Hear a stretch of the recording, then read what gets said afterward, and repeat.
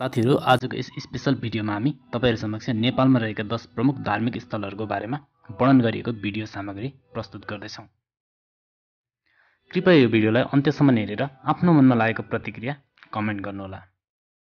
आउनुहोस् सुरु गरौँ। गोसाई कुण्ड। बागमती अञ्चलको रसुवा जिल्लामा पर्ने हिन्दूहरूको पवित्र तीर्थस्थलको रूपमा रहेको गोसाई कुण्ड समुद्र सतहदेखि करिब त्रिचालिस सय साठी मिटरको उचाइमा अवस्थित छ। चारैतिरबाट मनोरम पहाडले घेरिएको यो ठाउँ अति नै सुन्दर र रमणीय छ। यहाँ जनै पूर्णिमाको दिन ठुलो मेला लाग्दछ।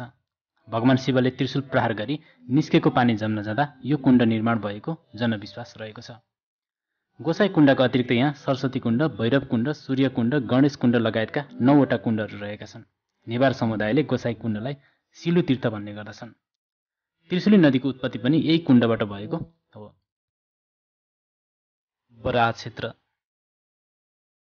मनोरम र रमणीय पवित्र तीर्थस्थल बराह क्षेत्र कोशी अञ्चलको सुनसरी जिल्लामा कोशी नदी र कोका नदीको सङ्गम स्थलमा रहेको छ। यहाँ गणेश बराह गुरु बराह सूर्य बराह कोका बराह इन्द्र बराह आदिका मन्दिरहरू तथा लक्ष्मी मन्दिर लगायत नौवटा मन्दिरहरू र धर्मशालाहरू रहेका छन्। कोका नदीको सङ्गममा श्राद्ध गर्नाले गयाको फाल्गु श्राद्धको फल मिल्ने यहाँ अस्थि विसर्जन गरेमा गङ्गा नदीमा गरी सरहको फल मिल्ने जनविश्वास रहिआएको छ। यस ठाउँमा अस्थि विसर्जन गर्ने तथा श्राद्ध गर्नेहरूको घुइँचो लाग्ने गर्दछ। महाभारत महाकाव्य तथा पुराणहरूमा महीमा गाइएको कोकाहा र कोशी नदीको सङ्गममा पर्ने यो धार्मिक स्थल देवस्थल अनन्तकालदेखि नै पूजनीय रहँदै आएको छ। सर भगवान् विष्णुको दश अवतारहरूमध्ये तेस्रो अवतार बरा अवतारको उत्पत्ति यहीँ भएको थियो। यहाँ प्रत्येक वर्ष कार्तिक शुक्ल एकादशी माघे सङ्क्रान्ति ऋषि पञ्चमी र फाल्गु पूर्णिमा लगायत अन्य एकादशीहरूमा स्वदेशी तथा विदेशी भक्तजनहरूको घुइँचो नै लाग्ने गर्दछ।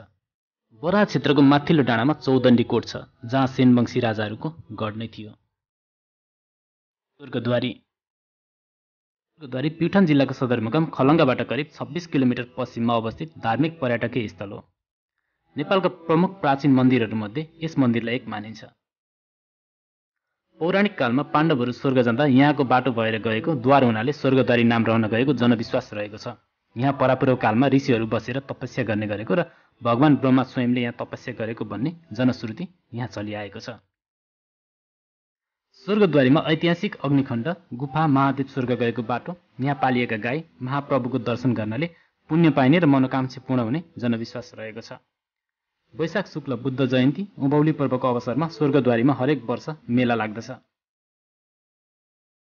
समुद्री सतहबाट करिब एक्काइस सय एक्काइस मिटर अग्लो स्थानमा रहेको स्वर्गद्वारीको हावापानी प्राकृतिक सुन्दरता ऐतिहासिक मनोरम तलाउ आश्रमको यज्ञशालाको दक्षिण भागमा रहेको बाँसको बोट महाप्रभुले तपस्या गर्ने गरेको गुफा विक्रमसम्म दुई हजार बाहन्न सालदेखि सञ्चालनमा आएको वेद पाठशाला गोवर्धन पहाड विभिन्न मन्दिर लगायत स्थलहरू आदि मुख्य आकर्षणका केन्द्र बनेका छन्।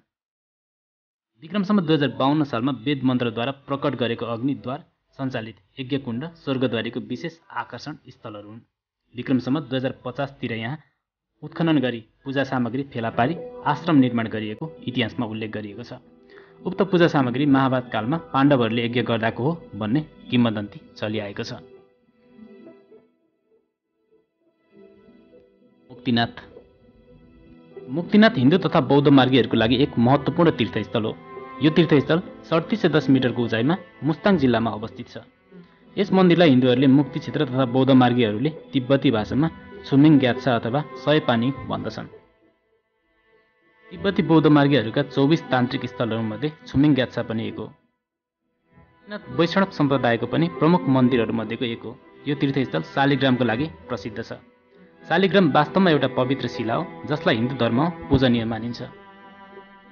यो मुख्य रूपमा कालीगण्डकी नदीमा पाइन्छ।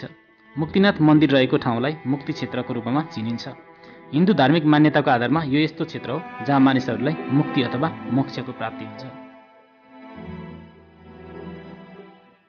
हलेसी महादेव। नेपालको एक प्रमुख हिन्दू एवं बौद्ध धर्मस्थल हो। यो सगरमाथा अञ्चलको खोटाङ जिल्ला सदरमुकाम दिक्तेलदेखि करिब नौ कोष पश्चिममा रहेको महादेव स्थान गाउँ विकास समितिमा पर्छ। हलेसी समुद्र सतहदेखि चार हजार सात सय छत्तिस फिटको उचाइमा रहेको छ। हलेसी गुफाको प्राकृतिक भूबनावटको संरचनालाई विश्वकै अनौठो मानिन्छ।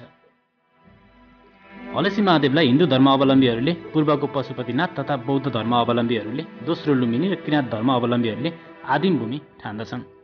हिन्दू बौद्ध र किराँत धर्मको सङ्गम स्थल मानिने हलेसी धाम करिब छत्तिस रोपनीमा फैलिएको छ। गुरासे तुवाचुङ जयथुम मुलथुम्की र रूपाकोट जस्ता सदाबार डाँडाको काखमा हलेसी अवस्थित छ। प्राकृतिक छटाले भरिपूर्ण एवं विभिन्न अनौठा र आकर्षक प्राकृतिक आकृतिहरू चट्टानले झकी झकाउ हलेसी धाममा विशेष त महादेव बसा र भैरवका तीनवटा महत्त्वपूर्ण गुफाहरू रहेका छन्। हलेसी महादेवको दर्शन गरेमा खरेडीबाट मुक्ति पाउने दुःखबाट मुक्ति पाउने सन्तान लाभ हुने पदोन्नति हुने जनविश्वास छ। भस्मासुरले महादेवलाई भस्म पारी पार्वतीलाई आफ्नो बसमा बनाउने दुरासायले महादेवलाई लखेट्दै जाँदा महादेव यहाँको गुफामा लुके र आफ्नो प्राणको रक्षा गरेको भन्ने किम्बदन्ती चलिआएको छ। चाँगो नारायणको मन्दिर। निर्माण लिच्छविकालीन राजा हरिदत्त वर्माले विक्रमसम्म तिन सय असीमा उपत्यकाका चार नारायणको स्थापना गर्ने क्रममा चाँगो नारायणको निर्माण गरिएको भन्ने आख्यान रहेको पाइन्छ। नेपालको प्रसिद्ध तीर्थस्थल मध्येको एक र प्राचीन पुरातात्विक शिलास्तम्भ समेत रहेको चाँगो नारायणको मन्दिर भक्तपुर जिल्लाको चाँगो नारायण गाउँ विकास समितिमा अवस्थित छ। भक्तपुर नगरबाट छ किमि उत्तरमा रहेको चाँगो नारायणको मन्दिर ऐतिहासिक कलात्मक र धार्मिक दृष्टिले मात्र नभई प्रमुख पर्यटकीय क्षेत्रको रूपमा पनि महत्त्वपूर्ण रहेको छ। काठमाडौँ उपत्यकामा रहेका सात विश्व सम्पदा सूचीमध्ये चाँगो नारायणको मन्दिर पनि एक हो। चन्दननाथ मन्दिर। चन्दननाथ मन्दिर जुम्ला जिल्लामा रहेको छ। भगवान दत्तात्रेयको मूर्ति रहेको यस मन्दिरमा दिनमा तीनपल्ट बिहान मध्याह र साँझमा पूजा गरिन्छ। चन्दननाथले निर्माण गरेको हुनाले यस मन्दिरलाई चन्दननाथ मन्दिर भनिएको हो। चन्दननाथले दक्षिण भारतबाट धानको बिउ जट्टामा बाँधेर ल्याई जुम्लाको जिउलोमा रोपेका थिए। आठौँ शताब्दीमा निर्मित यस मन्दिरमा योगी गिरी पुरी समुदायका पुजारीहरू रहने चलन छ। शिवरात्रि र कृष्ण जन्माष्टमीमा यहाँ ठुलो मेला लाग्ने गर्दछ।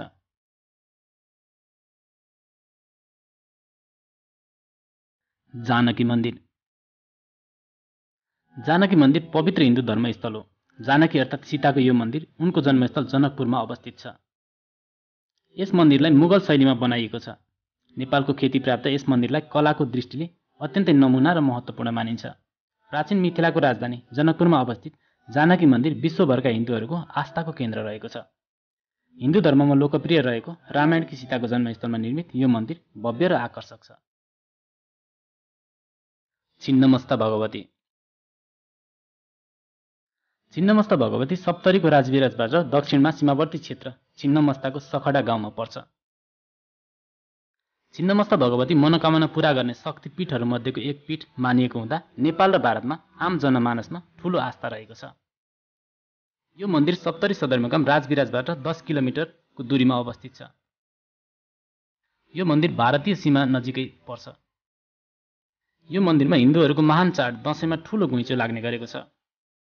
प्राचीन इतिहास र किम्बदन्ती अनुसार सन् उन्नाइस सय सन्तानब्बेमा मुसलमानले आक्रमण गर्दा कर्नाटकका कर्नाट वंशीय राजा नान्यदेव भागेर पाटालपुत्री हुँदै मिथिला आइपुगेर सिमरनगढमा राजधानी कायम गरे। यिनै नान्यदेवका पाँचौँ पुस्ताका शुक्रसिंह देव राजा भएका थिए। उनी नाबालक छोरा हरिसिंह देवलाई राजगद्दीमा राखी निर्वासित जीवन बिताउन सप्तरीमा आएका थिए। त्यति बेला जङ्गलले ढाकिएको यस स्थानमा जङ्गलमा सफा गर्दा भेटिएको भगवतीको मूर्ति उनले आफ्नो कुलदेवीको रूपमा स्थापना गरी आफ्नो नामबाट देवीको नाम शुक्रेश्वरी राखे भन्ने भनाइ छ। देवीको शिर नभएको हुँदा केही समयपछि छिन्न बस्ता भन्न थालिएको हो। तलेजु भवानीको मन्दिर। तलेजु भवानीको मन्दिर काठमाडौँमा रहेको छ। तलेजु भवानीलाई पुज्ने परम्परा काठमाडौँ उपत्यका लगायत देशका अन्य ठाउँहरूमा पनि रहेको पाइन्छ। चौधौँ शताब्दीमा सिमरौनगढका राजा हरिसिंह देवले मुसलमानको आक्रमणबाट बचाएर ल्याई तुलजा भवानीको मन्दिर भक्तपुरमा स्थापना गरेको इतिहासमा पाइन्छ। भक्तपुरपछि क्रमशः कान्तिपुर र ललितपुरमा समेत स्थापना गरिएको थियो। नेपालमा राज्य गर्ने राजाहरूले तुलाजा भवानीलाई इष्टदेवको रूपमा पूजा गर्ने चलन रहेको छ। बगलामुखी पाटन दरबार क्षेत्रबाट केही मिनट उत्तरमा पर्ने बगलामुखी कुम्बेश्वर मन्दिर परिसरमा छ। तन्त्रशास्त्र अनुसार दस महाविद्यामध्ये बगलामुखी पनि एक हुन्। बिहिबार विशेष भिड हुने बगलामुखीको दर्शनबाट मनोकांक्षा पूर्ण हुने सिद्धि हुने विश्वास गरिन्छ। साथीहरू यी थिए नेपालका प्रमुख दस धार्मिक तीर्थस्थलहरू। तपाईँहरू यीमध्ये कुन कुन धार्मिक स्थलमा पुग्नु भएको छ? कृपया कमेन्ट गरेर बताउनुहोला। र आगामी दिनमा पनि यस्तै यस्तै प्रकारको भिडियोहरू हेर्नको लागि हाम्रो च्यानललाई सब्सक्राइब गरी घन्टीको बर्जामा थिची अलमा प्रेस गर्नुहोला। केएनके एडभाइसलाई सब्सक्राइब गरिदिनु होला र नोटिफिकेसन बेललाई प्रेस